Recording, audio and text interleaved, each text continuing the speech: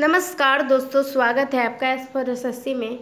आज के इस वीडियो में हम S S C C G L दो हज़ार अठारह के लिए इंपॉर्टेंट जीके के प्रश्न देखेंगे, ठीक है? चलिए स्टार्ट करते हैं। पहला सवाल है, भारत में खोजा गया सबसे पहला शहर कौन सा है? पुराना शहर कौन सा है?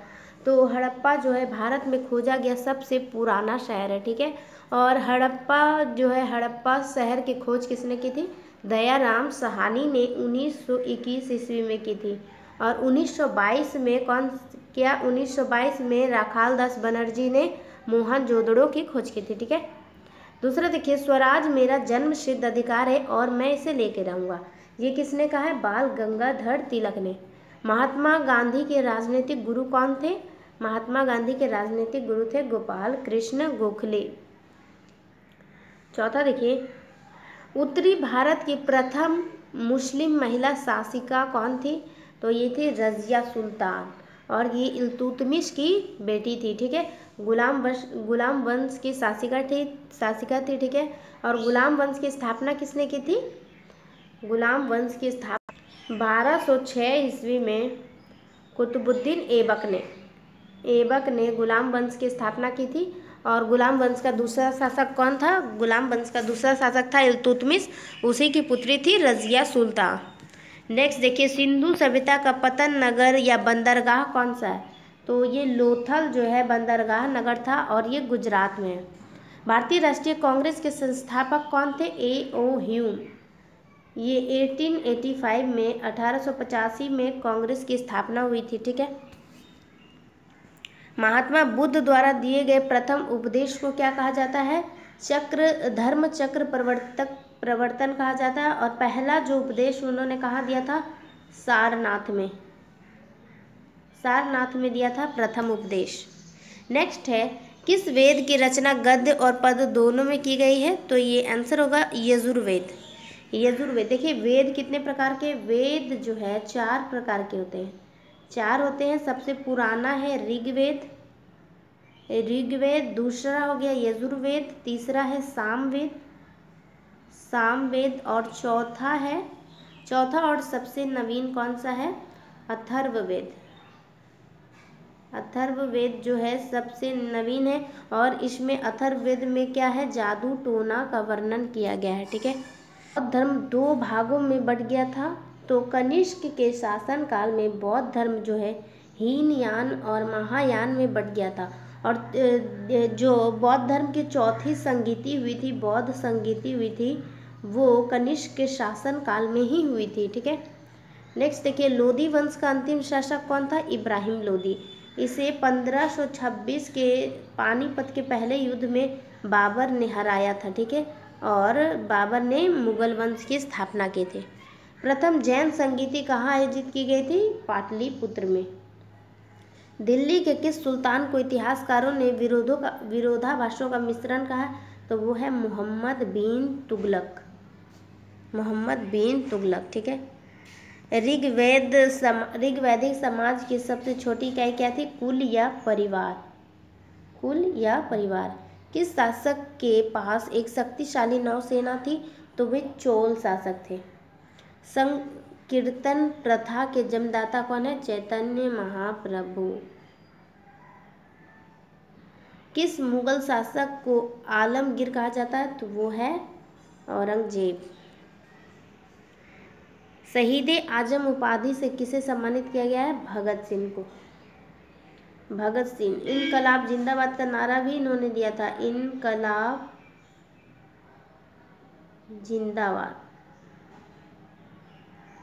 भगत सिंह ने दिया था, ठीक है? साइमन कमीशन के विरुद्ध प्रदर्शन के दौरान किए गए लाठीचार्ज में किस राजनेता की मृत्यु हो गई थी? तो वो थी लाला लाजपत राय। बहावी आंदोलन के प्रवर्तक कौन थे? सैयद अहमद। बहावी आंदोलन सैयद अहमद। किस स्थान पर बुद्ध ने महापरिनिर्वाण प्राप्त किया था? तो वो है कुशीनगर।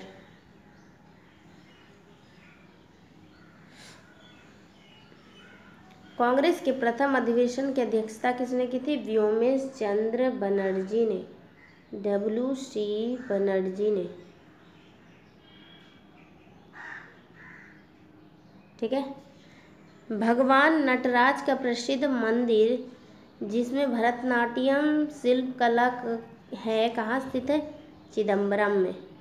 महात्मा बुद्ध ने उपदेश देने हेतु किस भाषा का प्रयोग किया? तो वह है पाली भाषा। कुतुब मीनार के निर्माण को किस शासक ने पूरा किया था? देखिए, कुतुब मीनार की जो शुरुआत की थी, कुतुब मीनार बनाने की, वो कुतुबुद्दीन ऐबक ने की थी और इसे पूरा करवाया था इल्तुतमिश ने। लीलावती पुस्तक किसने लिखी है? सॉरी, किससे संबंधित है? तो ये गणित से संबंधित है। पहाड़ी काट कर एलो एलोरा के विश्वविद्यालय सॉरी, विश्वविख्यात कैलाश नाथ मंदिर का निर्माण किसने करवाया था? राष्ट्रकूटों ने करवाया था। चीनी यात्री हुएन सांग किसके शासनकाल में आए थे? हर्षवर्धन के शासनकाल में। बनारस हिंदू विश्वविद्यालय के संस्थापक कौन है? मदन मोहन मालवीय। इन्हें 2014 में भारत रत्न सम्मान से सम्मानित किया गया, मरणोपरांत भारत रत्न दिया गया मदन मोहन मालवीय के को और अटल बिहारी वाजपेयी को, ठीक है? स्वतंत्र भारत के प्रथम गवर्नर जनरल कौन है? Lord Mountbatten. और स्वतंत्र भारत के पहले और अंतिम भारतीय गवर्नर जनरल कौन थे? तो चक्रवर्ती राज गोपालाचारी चक्रवर्ती राज गोपालाचारी थे, ठीक है? नेक्स्ट है, किस मुस्लिम शासक के सिक्कों पर देवी लक्ष्मी की आकृति बनी थी? तो वो मोहम्मद गौरी था। काला शोक की राजधानी कहाँ थी? पाटलिपुत्र। गायत्री मंत्र की रचना किसने की थी? विश्वामित्र ने। लंदन में इंडिया हाउस की स्थापना किसने की थी? श्यामा जी कृष्ण वर्मा ने। श्याम जी कृष्ण वर्मा ने। किस गुप्तकालीन शासक को कविराज कहा जाता है? तो वो है समुद्रगुप्त समुद्रगुप्त। अकबर इतिहासकारों में किसने अकबर को इस्लाम का शत्रु कहा तो वह बदायूनी ने। भक्ति को दार्शनिक आधार प्रदान करने वाला प्रथम आचार्य कौन था? शंकराचार्य। किस नगर को शहीद सिराजे हिंद कहा जाता है? सॉरी, किस नगर को सिराजे हिंद कहा जाता है? तो वह जौनपुर। चालुक्य वंश का सर्वाधिक प्रसिद्ध शासक कौन था? पुलकेशिन द्वितीय। मोहम्मद ने, मोहम्मद गौरी ने ग्यारह सौ बावन ईस्वी में हुई तराइन के द्वितीय युद्ध में किस शासक को पराजित किया था? तो वह पृथ्वीराज चौहान को। ग्यारह सौ इक्यावन में जो पहला हुआ था, उसमें कौन जीता था? पृथ्वीराज चौहान और दूसरा हुआ था उसमें तराइन के दूसरे युद्ध में गौरी की जीत हो गई थी। भारतीयों के महान रेशा मार्ग या सिल्क रूट किसने आरंभ कराया था? कनिष्क ने। गुरुमुखी लिपि, गुरुमुखी के नाम से कौन सा जाना जाता है? सिकंदर। सॉरी गुल रुखी है।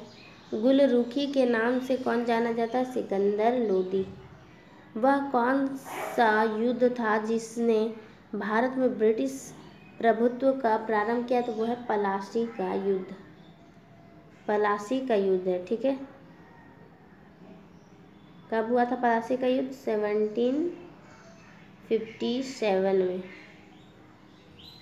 और भारत के पहला स्वतंत्रता संग्राम कब हुआ था? एटीन फिफ्टी सेवन में। अठारह सौ संतावन की क्रांति, आप जानते होंगे। शिवाजी ने अपने राज्य की आय का मुख्य साधन किसे बनाया? चौथ कर को, ठीक है?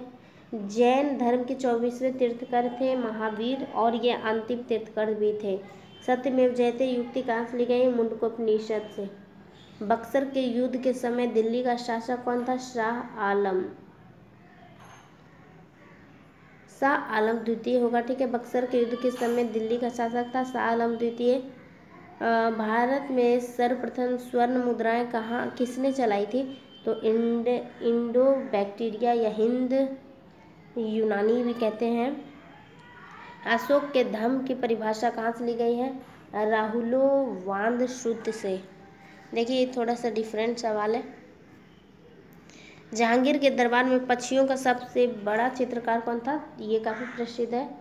ये सवाल है, जो काफ़ी इम्पोर्टेंट है। इसका आंसर होगा मंसूर। अभिनव भारत के संस्थापक कौन थे? V D Savarkar. Veer V D Vinayak Damodar Savarkar जो थे, अभिनव भारत के संस्थापक थे। किस शहर में शाहजहाँ ने मोती मस्जिद बनाई थी? तो शाहजहाँ ने आगरा में मोती मस्जिद बनाई थी। जूनागढ़ से प्राप्त संस्कृत का पहला अभिलेख किस शासक का है? रुद्र दामन का है, ठीक है?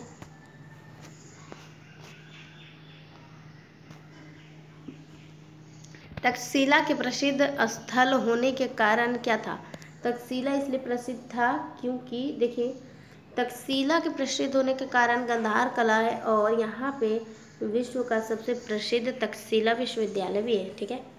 आज़ाद हिंद फौज के संस्थापक कौन है? कैप्टन मोहन सिंह। अजंता कलाकृतियाँ किससे संबंधित है? बुद्ध काल से उत्तर भारत में भक्ति आंदोलन फैलाने का श्रेय किसको है? रामानंद को। भारत छोड़ो आंदोलन के समय इंग्लैंड के प्रधानमंत्री कौन थे? Winston Churchill.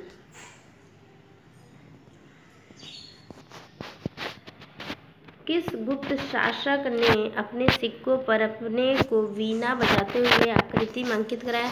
वो था समुद्रगुप्त। दोस्तों, अगर कुछ भूल चूक हो गई है तो माफ़ कीजिएगा। अगर आपको ये वीडियो अच्छा लगा तो प्लीज़ लाइक कीजिए, शेयर कीजिए और चैनल को सब्सक्राइब कीजिए। आज के लिए बस इतना ही। अगले वीडियो में मिलते हैं। धन्यवाद।